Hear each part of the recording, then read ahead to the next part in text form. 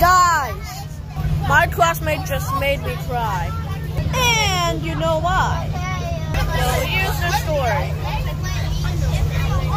So, first one is the classmate's name is Sativa. And guess what she done?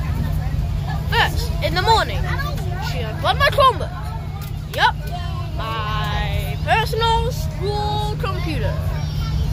And you know what? In the afternoon, she just she wants to backfire me. And and, and then she told to another girl. And then she said, "Hey, don't me names." And then and then and then Shelby goes mad at me and believes about the lie. I mean, the Bible says you cannot lie. And guess what?